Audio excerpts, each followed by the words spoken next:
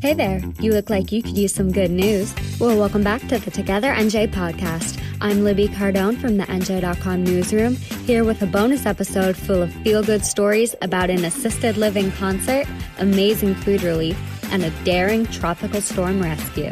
Now let's get to the good stuff. Brandywine Living Princeton, an assisted living residence in South Brunswick Township, recently hosted a concert. And guess what? It rocked. Paul Gall, 69, and Ed Backerman, 92, the facility's resident guitarists, each performed some of their favorite songs for the other residents, all socially distant, of course. Rock on, you guys. Check out more of this story by clicking on the link in our bio.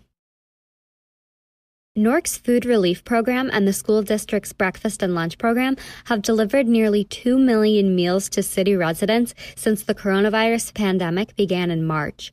The city has delivered 1,063,213, to be exact, meals, and Newark Public Schools have delivered close to 1 million meals to Newark Housing Authority residents, senior citizens, residents without addresses, and homeless people.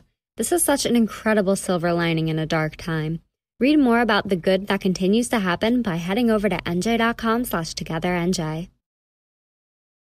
We were all nervous over the power of Tropical Storm Isaias, and Morris County resident Greg Ramirez found himself very freaked out. His vigilance proved to be justified because in the middle of the storm, a huge tree crashed into his home, knocking out the power and surrounding Ramirez and his children in a flurry of debris. For a moment, it seemed to be the end. He had grabbed his son, but his daughter Mia was nowhere to be found, buried under the rubble. Greg feared the worst, but after a moment, he found her little hand sticking out and pulled her to safety. Thank goodness everyone in the Ramirez family is safe. You can read more about their story by clicking the link in our bio. Two New Jersey high school seniors placed in the top five in a prestigious national science and math competition, and oh yeah, took home thousands of dollars in awards for their creations.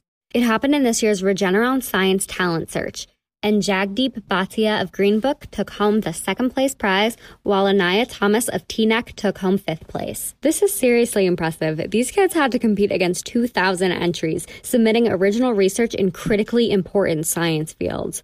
Wow. Congrats to these science whiz kids.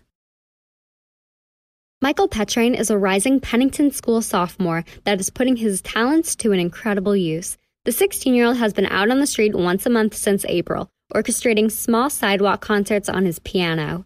He even performed under a pop up tent once the weather was too hot. But hey, the show must go on.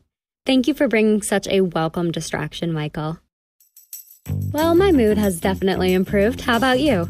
Be sure to subscribe to this podcast for more stories of how we're keeping it together, New Jersey. Join us next time, and until then, check in on all our great stories at nj.com slash togethernj. And hey, if you're enjoying these feel-good stories, then maybe consider supporting our local journalism during this important time.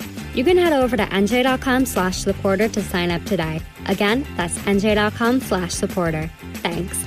I'm Libby Cardone, and until next time, stay positive, Jersey.